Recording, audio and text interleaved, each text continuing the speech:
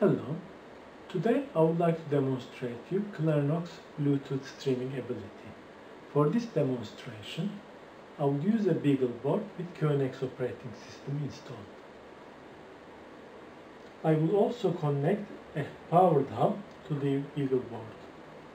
I will have a Bluetooth USB dongle connect to the hub.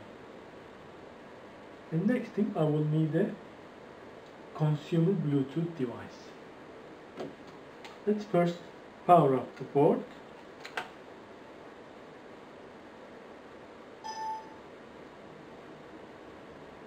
Once the operating system starts, then I will connect to USB hub. Now next thing is to run the Clarinox Bluetooth application. While application is running, I will put the Bluetooth device into pairing mode. Pairing mode. The application will be searching and finding device. Once it's found, it will start streaming.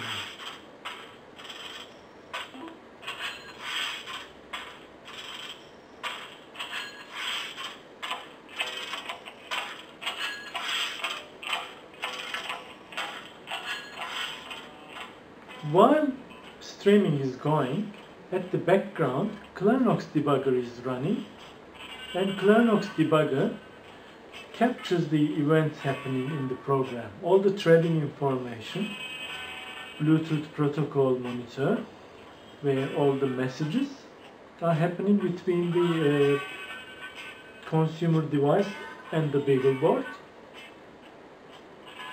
It also shows the memory analysis where the statistics of how much memory used, where the memory allocation, the allocations are done.